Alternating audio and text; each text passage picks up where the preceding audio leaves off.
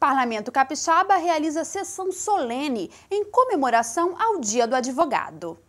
A Assembleia Legislativa homenageou advogados que se destacaram no último ano.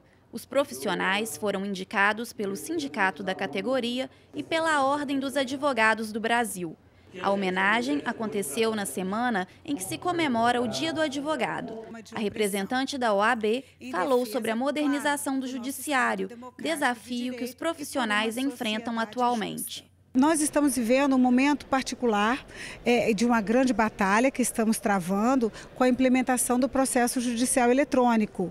Vem modificar em muito a vida diária do advogado e hoje, fora as questões do dia a dia, a nossa luta, a nossa luta por justiça, defesa da cidadania, agora nós estamos precisando trabalhar em prol do próprio advogado que terá que se readaptar à nova realidade. É uma realidade sem volta, nós sabemos disso, e que virá.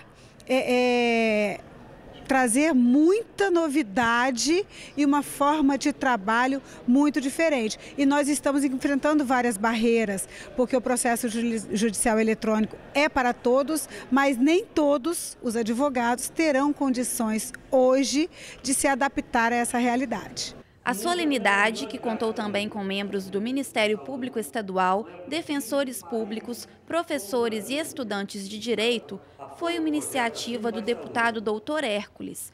Ele falou sobre a importância dos advogados capixabas e defendeu o estabelecimento no Estado de um piso salarial para a categoria. O advogado ele, ele é muito desvalorizado e é o guardião da justiça, é o guardião da lei. Nós estamos lutando não são por privilégio que o advogado tem, nós estamos lutando por prerrogativas e os direitos que o advogado tem. Principalmente, eles têm que estar bem preparados, bem aparelhados e ser bem pago também para poder defender o cidadão. Só assim nós teremos uma justiça perfeita e um direito muito melhor exercido.